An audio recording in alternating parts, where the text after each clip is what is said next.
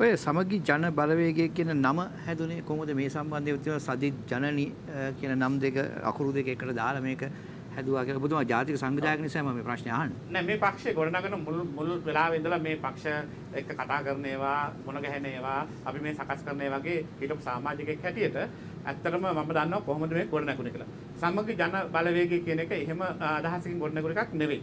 අපි බැලුවා ඇත්තටම වෙන සම්ප්‍රදායික නම් ගොඩාක් ආවා අපිට. මේකට යෝජනා වුණා. හැබැයි අපි බැලුවා නෑ අලුතෙන් දේශපාලන පක්ෂයක් කියනවට වඩා නිකන් බලවේගයක් වගේ පක්ෂයක් නමක් ගොඩනගෙන එක හොඳයි කියලා.